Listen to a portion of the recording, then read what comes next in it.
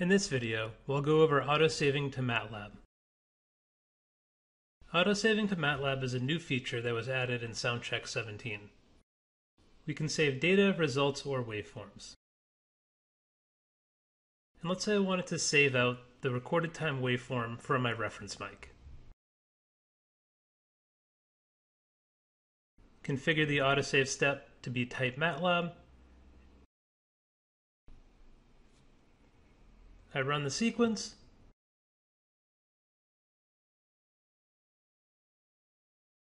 And here in my data folder, we get a .mat file. Now if I jump over to MATLAB, you can see this data here. The test information I had selected in the autosave step is saved here as well. And just as a quick example, if I take this waveform and view it in MATLAB,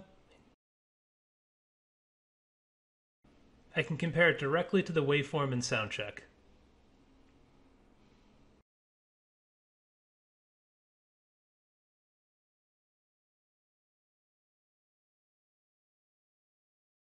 These files are exactly the same. Now that the data is output in MATLAB, I can do any processing that I want to. In the next video, we'll go over autosave to text.